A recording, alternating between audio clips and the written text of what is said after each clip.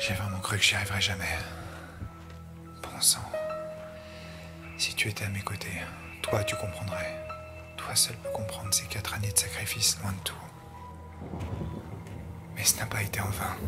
J'y suis. Je sais, je sens. Depuis que l'humanité est passée de Sibérie à l'Alaska, ils l'ont tous cherché. Frobisher, Davis, Baffin, Ross, Parry, Franklin. Personne n'a réussi. Sauf moi.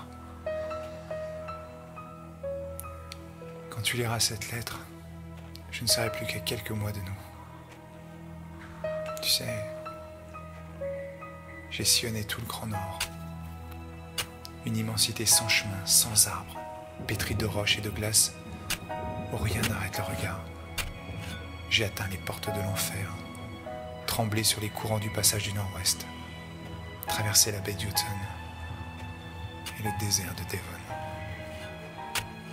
Au Cap Sabine, le blizzard a déchiré ma peau. La banquise s'est brisée sous mon poids. J'ai failli me faire dévorer par une ours et ses oursons affamés.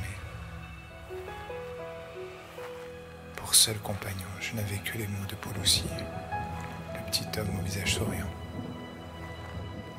J'ai enfin percé le mystère du Nunavut. Je vais tout savoir des Inuits, de ce peuple extraordinaire. Je te ramène leurs secrets, leur vérité.